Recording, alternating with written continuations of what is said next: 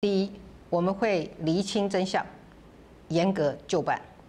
这项由前政府启动的计划有明显的疏失，无论是决策、招标、连带以及履约的管理的过程，都应该被严格的检视。第二，务必要纠正错误，解决问题。接下来，我要求国防部务必全面检讨整个造舰案招标的过程，也必须在最短的时间内。对后续合约的事宜做出专业的评估以及明快的决定，以确保国家利益。更重要的是，我们一定要建立更完善的机制，把不适格的厂商排除在国防自主的计划之外，杜绝错误再犯。危机就是转机。第三，政府推动国建国造的决心不会改变，走向国防自主的这条路。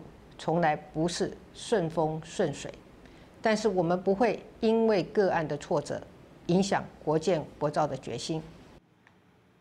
蔡文总统表示，身为三军统帅，国军有困难的时候一定会一起承担，国建国造的工作也会更坚持到底，让这项关系到国家安全的重大政策可以克服万难，继续向前。